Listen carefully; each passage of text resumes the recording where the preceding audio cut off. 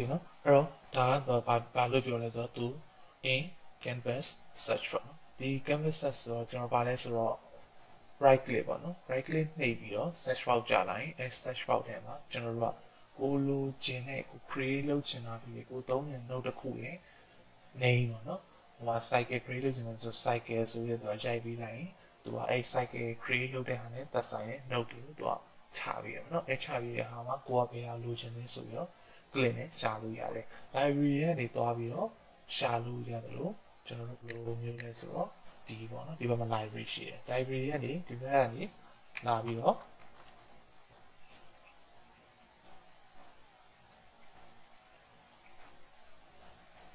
နော်ဒီလိုလာပြီး search လုပ်ပြီးတော့ဒီမှာကျွန်တော်တို့ create လုပ်တဲ့ method တွေပေါ့နော် plus sign လေးဆိုကျွန်တော်တို့ပြောထားတယ်အရင်က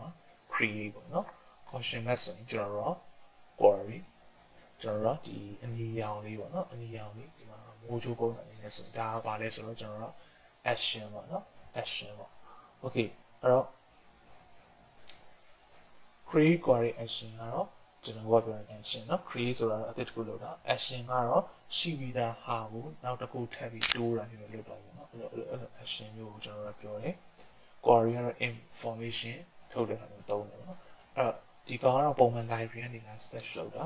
အဲ့လိုမှမဟုတ်ရင်ကျွန်တော် right click နဲ့ဒီ search မှာကျွန်တော်မလုပ်လို့ရမယ်ဆိုတော့ CIR CLE ဆိုပြီးတော့ site ဆိုပြီးတော့ရိုက်ကြည့်လိုက်ပေါ့နော်ရိုက်ကြည့်လိုက်ကျွန်တော်တို့မှာလည်းသူက no လေးကိုပြောပြီးတယ်ပေါ့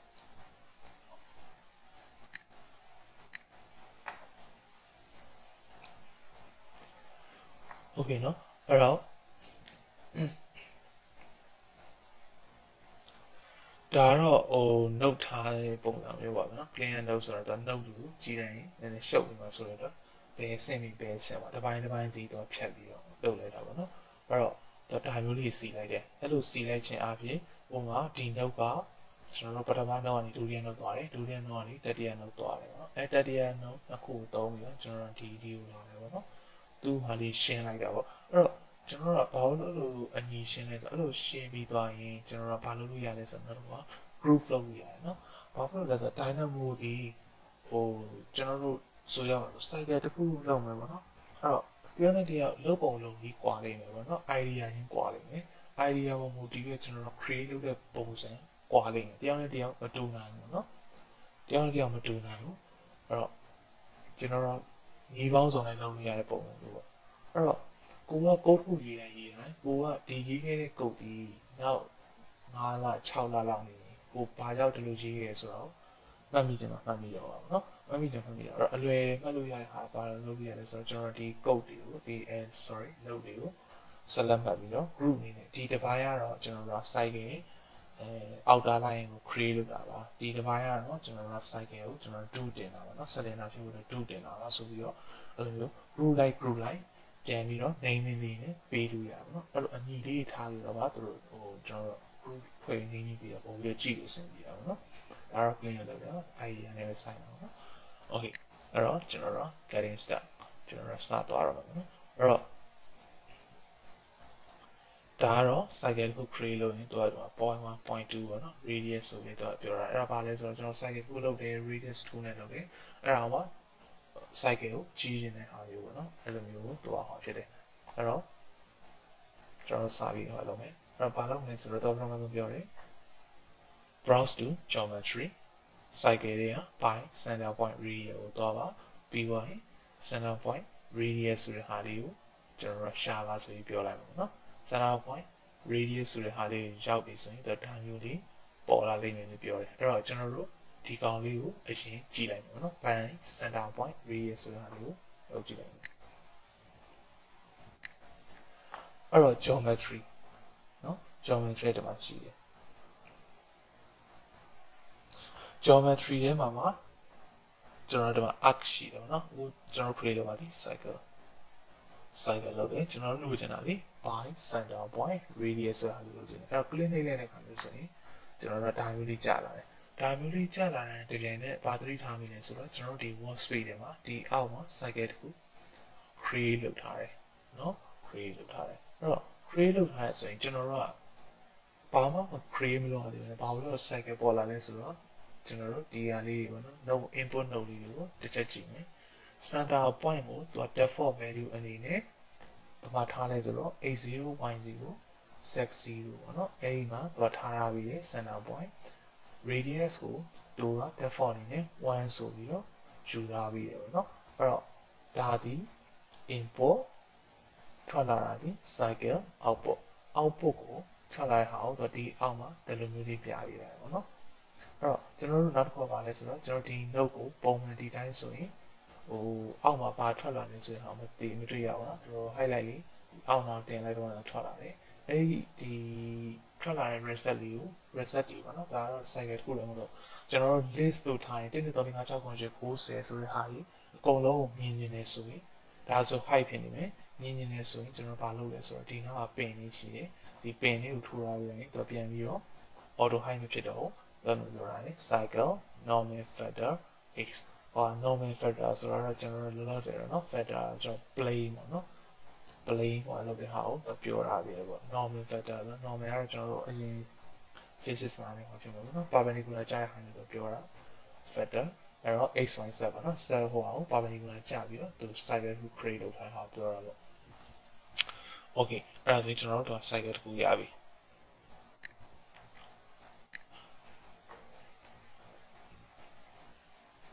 အဲ့တော့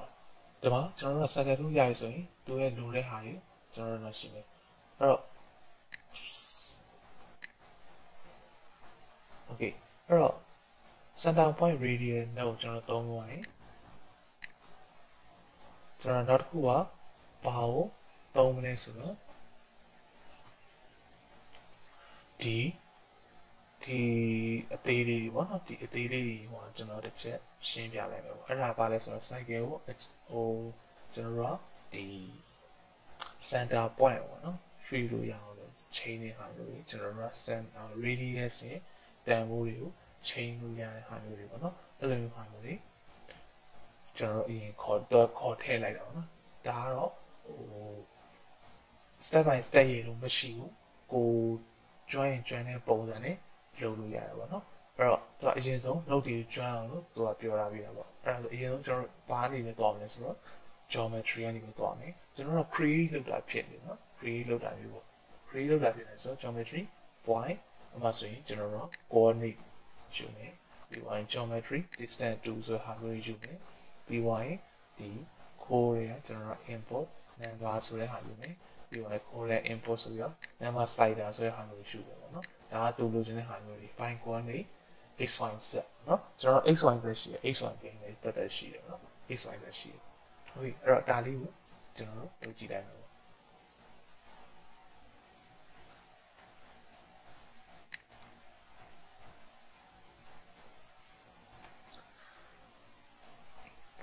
အဲ့တော့ကျွန်တော်ပဲတောင်းလဲဆိုတော့ထုံးစံတိုင်း geometry เนาะ geometry ထဲမှာကျွန်တော်တို့ point point ကိုရှာမယ် point ဒီဒီအောက်မှာရှိတယ်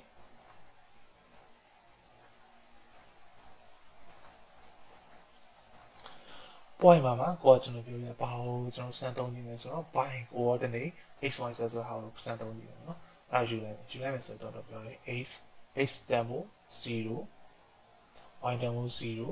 z တန်ဖို့0နဲ့ default အနေနဲ့ပြီးတယ်ပေါ့နော်အဲ့တော့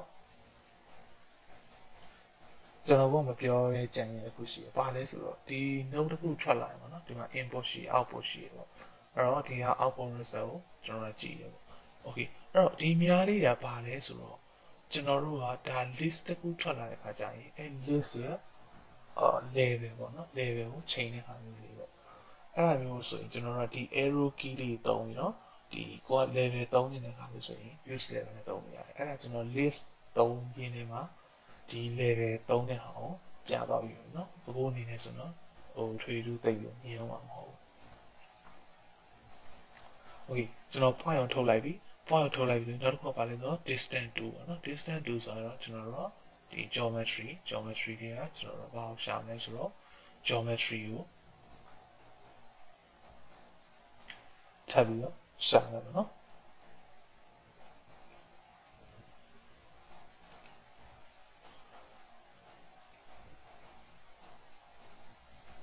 ဟုတ်ပြီကျွန်တော်တို့နေတာဗာလဲဆိုတော့ distance to distance to ဆိုတာဟာလိုချင်တဲ့အတွက် distance to ဆိုတာလို့တစ်ချက်ထုတ်လိုက်မယ်ပြီးတော့ဘာလိုချင်လဲဆိုတော့ကျွန်တော် number ရဲ့ number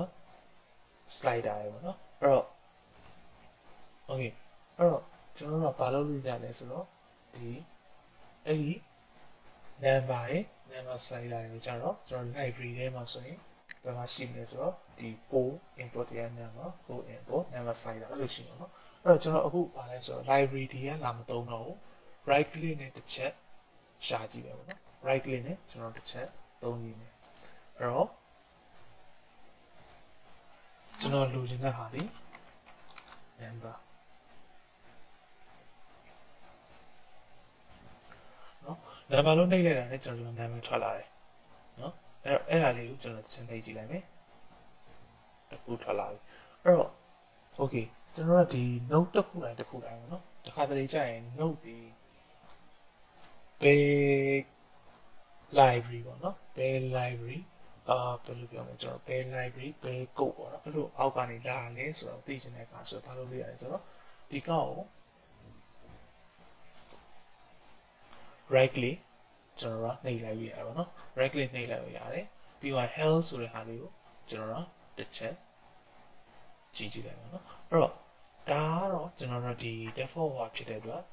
တိတ်ပြီးတော့ဟောမဖြစ်ဘူး ဟို package ပေါ့နော်ကိုကလိုမျိုး online package တွေကျွန်တော်တို့ download ချလိုက်ခါမျိုးဆိုရင်အဲ့ဒီ note ဒီဘယ် package ကနေလာလဲဆိုတော့ဟာကိုကျွန်တော်တို့ဒီမှာ information တွေပေါ့နော် information တွေနဲ့သူအပြလာပြီးတော့ပေါ့ဟိုမှာ archi let တို့ပါတော့ပေါ့နော်ကျွန်တော် archi let တို့ပါရှိနေပြီးတော့အာ ear key တို့ပါတော့ပေါ့နော်အဲ့လိုမျိုးကျွန်တော်တို့ဒီဘယ်လိုပြောမလဲ open maps နဲ့ပေါ့နော် open map ဆိုတာရောအကြောင်းရတယ်ကျွန်တော်တို့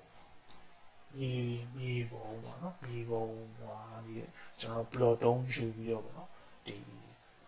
မြို့တစ်ခုတစ်ခုဟိုကျွန်တော်လေ့လာတဲ့ခါမျိုးပေါ့ဘေးနားမှာရှိတဲ့အဆောက်အဦကိုကျွန်တော် height ပြပါသိချင်တာမျိုးနော်အဲ့ဒါကိုကျွန်တော်အရင်ကတော့ဟိုရှင်းရေးဘူးတော့နော်ကျွန်တော် page မှာရေးဘူးလေဒီဘယ်လို create လုပ်လဲဆိုတာပေါ့နော်အဲ့ဒါ ရှိတယ်ပေါ့အဲ့လိုမျိုးဟာမှာကျွန်တော်သုံးတယ်ပေါ့အဲ့လို package တွေသုံးတာတချို့ package တွေကကျွန်တော်ဒီ page နဲ့မပါဘူးတက်တက်ထပ်ပြီးတော့ install လုပ်ပြီးမှတော့လေဖြစ်နေဟာမျိုးပေါ့ okay အဲ့တော့ကျွန်တော်တို့နောက်ဆုံးအနေနဲ့လိုတဲ့ဟာဒီဘာဖြစ်မလဲဆိုတော့ number slider ပေါ့နော် number slider ကိုလည်းကျွန်တော်ဘယ်ရပဲသွားလိုက်မယ်ဆိုတော့ဒီကနေပဲသွားလိုက်မယ် NUMBR number လို့ပဲကျွန်တော်အရင်ရိုက်လိုက်ပါတော့ရိုက်လိုက်ရင်ဒူလေးကဟာဒီ number slider ဆိုတဲ့ဟာမျိုးတွေရှိတယ်ပေါ့နော် okay အဲ့ဒါဆိုရင်ကျွန်တော်တို့ဒီမှာလူရင်းဟာရပြီပေါ့နော်လူရင်းဟာရပြီဆိုတော့သူကတစ်ချက်ကြည့်လိုက်တော့တကယ်တော့ဟိုအခုကျွန်တော်သင်နေဆိုတာပေါ့နော်ဒီတဲကဟာကိုသူရဲ့ step by step ကိုဟောဖြစ်ခြင်းလို့သင်တော့တကယ်လည်းကို create လုပ်တဲ့ခါဆိုရင် ဒါပြီးမှဒါလောက်ရမယ်ဆိုတော့မရှိဘူးနော်ကိုကျွမ်းရင်ကျွမ်းဆိုတော့ကြိုက်တဲ့ note ကိုအရင်ခေါ်ထည့်ပြီးတော့လေကြိုက်တဲ့ note ကိုအရင်ဆက်လို့ရတာပေါ့နော် okay အဲ့တော့သူကဒုတိယ step အနေနဲ့တော့ပြောတယ်အဲ့တော့ကျွန်တော်အခေါ်ဝေးလေးနောက်တစ်ခုရှိတယ်။ဘာလဲဆိုတော့ကျွန်တော်ဒီအသေးလေးတွေကိုကျွန်တော် note လို့ခေါ်ရပါတော့။ and note to note ဆက်တဲ့ဟာကိုကျွန်တော်တို့ဘာလို့ခေါ်လဲဆိုတော့ဒီမှာဆိုတော့ wire လေးတွေကိုကျွန်တော်ခေါ်တယ်။နော်ဟုတ်ပြီ။အဲ့တော့အခု ကျွန်တော်တို့က circle create လုပ်ထားတယ် circle create လုပ်ထားတယ်ဆိုတော့နောက်ဆုံးပါနော်နောက်ဆုံးမှာလုပ်ထားတယ်အဲ့တော့နောက်ဆုံးမှာလုပ်ထားရဲဆိုတော့ကျွန်တော်တို့ရဲ့ဒီ flow ရကျွန်တော်တို့ကဘာလုပ်မလဲဆိုတော့ number နှစ်ခုလုပ်မယ် number slider နှစ်ခုလုပ်မယ်ပြီးသွားရင် coordinate အတွက်နှစ်ခုလုပ်မယ်ပေါ့နော်ပြီးသွားရင် geometry distance to ဆိုတဲ့ဟာကိုကျွန်တော်တို့တတိယအနေနဲ့ချိန်ထားတာပေါ့နော်ကျွန်တော်အဲ့ဒီအတိုင်းလေး ဟောဖြစ်ရင်လုပ်ကြည့်လိုက်တော့ပေါ့အဲ့တော့ကျွန်တော်တို့က number နှစ်ခုလိုလဲဆိုတော့ဘာလုပ်မလဲဆိုတော့ right click နဲ့ number ခေါ်ထည့်လို့ရတယ်လို့ကျွန်တော်တို့ပုံမှန် lab ကွန်ပျူတာမှာသုံးနေကြပါတော့ control C control V နဲ့ねကျွန်တော်ကဒီ note လေးကို select မှတ်ပြီးတော့ copy ကူးလို့ရတယ်အဲ့တော့ကိုက number slider ကူးခြင်း control C highlight လုပ်လိုက်ပါတော့ control C ပြီးတော့ကျွန်တော် control V နဲ့ဆိုရင်နောက်တစ်ခုကြာလာလိမ့်မယ်